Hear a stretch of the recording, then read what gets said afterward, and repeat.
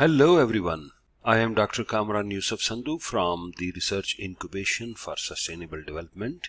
Today's topic is about key steps to write synopsis for MPhil and PhD programs.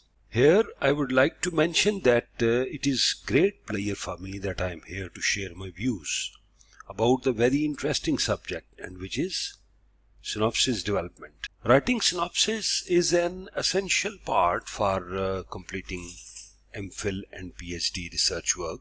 After getting admission in MPhil or PhD, a research scholar does face many problems for writing their research proposal.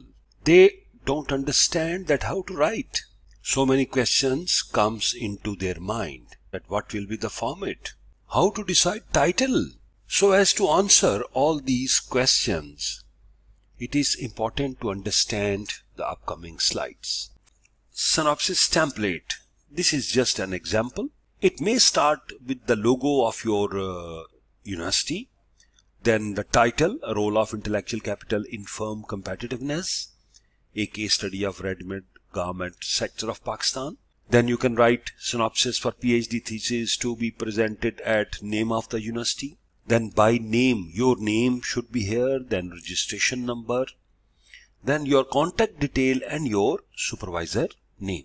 So after completing the first cover page you will come to the, all these points which I have explained in detail like starting from introduction study background problem statement literature review uh, let me recap like review, conceptual model development, objectives, research questions, research hypothesis. Point four, research methodology. So it will start from setting, duration, population, sample size, sample selection, unit of analysis, data collection procedures, data analysis procedures.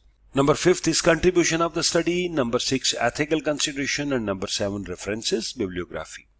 I hope Today's lecture about uh, synopsis development will be helpful and uh, you will be able to develop your synopsis accordingly.